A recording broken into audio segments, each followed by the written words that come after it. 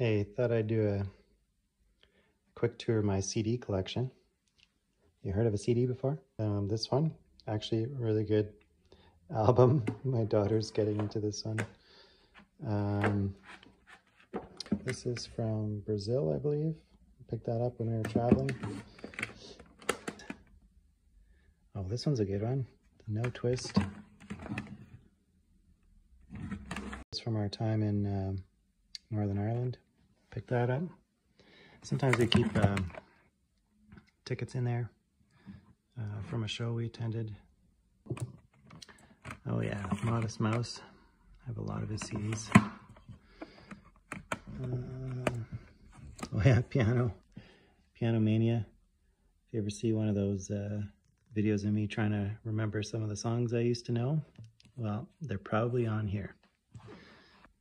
Okay, what do we got here? Yo La Tengo. Oh yeah. That's I'm still into Yo La Tengo. Lots of Radiohead. Let's see what else we got. Blur. Remember them? Beck. Yeah, oh yeah, Sloan. And yeah, a bunch of stuff in the car too. Probably the best stuff is in the car. Okay, I'm in the car. Let's see what CDs we got here. Oh yeah, Destroyer. That's a good one. Wilco. Ghost is Born. Oh man, it's so good. More Yo La Tengo. We got the Flaming Lips. And we got some Bob Marley and more Wilco. Yeah, lots of good stuff. Okay, some more stuff that was in the car. Um, Oasis, must listen to. Oh, again, yes, the Smashing Pumpkins.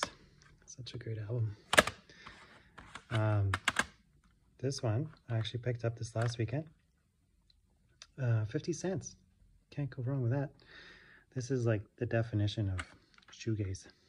And uh, Postal Service. Yeah, very interesting album. Okay, I wanted to see what I have on rotation here in the workshop. You can tell it's the workshop because it's super dusty here. Um, we got the Broken Social Scene. Uh, you Forgot It in People. It's a great album. Highly recommended. I got Our Lady Peace. Found another drawer of CDs. We got Loreena McKennitt. It's great. We got, let's see here. Oh yeah, these albums, they are fantastic. Mahogany Frog, Prog Rock, and this one as well. Some of their early, early works, really good. Uh, um, over here, let's see what we got. Oh yeah, of course, you need, everyone needs Pink Floyd album.